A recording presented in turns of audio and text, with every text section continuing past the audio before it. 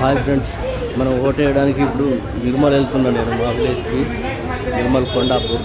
కానీ ఇక్కడ బస్సులు దొరికేటట్టు కనబడతలేదు. ఒకసారి చూద్దాం మన జేబీఎస్ బస్ స్టాండ్లో ఉన్న హైదరాబాద్. నిజామాబాద్ బస్సులు.